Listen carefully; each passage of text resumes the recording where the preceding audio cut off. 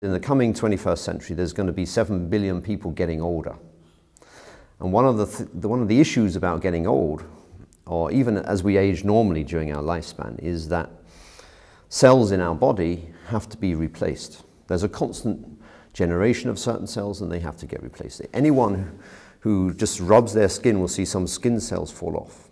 And in, in us, what happens is at the bottom of the skin, there are certain cells that divide with a certain frequency to replace the cells that come away. They don't do it too fast, they don't do it too slow. It has to be exactly the right uh, rate of replacement. And those cells are called stem cells, and they're called stem cells because it's a little bit like um, the origin of the cells in the skin. In the hair follicle, for example, there are stem cells. Every time we lose a hair normally, the hair follicle gets regenerated. We grow a new hair. And the hair, when we're younger, comes out again being pigmented, whatever color we were born with. And the cells responsible for that, so-called pigment cells, melanocytes, when the hair comes out, they also come out, and the whole hair follicle and new melanocytes get regenerated from stem cells. So in terms of an aging population, one of the challenges for the 21st century is not just um, provision of health care, it, it's, and, and prevention of death and, and making people live longer, it's providing quality of life. And one of the major issues with quality of life is loss of stem cells. I mean, loss of colour in hair is not such a major issue for many people.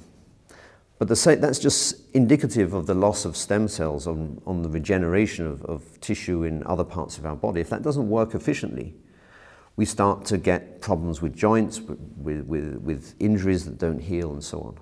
And in the long term, that can mean that we age and the quality of life goes down. So one of the things that we'd like to do is to use our knowledge of stem cells to try and provide what's called regenerative medicine. If we get a tissue that's damaged, if we get a damaged liver or a damaged heart from heart disease that kills some cells in the heart so it doesn't work efficiently, wouldn't it be lovely if we could take other cells from our body, induce them to become new heart cells, induce them to become stem cells for the heart, put them into the heart, regenerate new heart tissue so the heart now works much more efficiently. So that's one of the major challenges that we face in terms of normal stem cell biology. How do we use our knowledge of stem cells for regenerative medicine? And I think that is going to be it's going to become more and more important as the world's population does start to age more and we are getting more and more old people.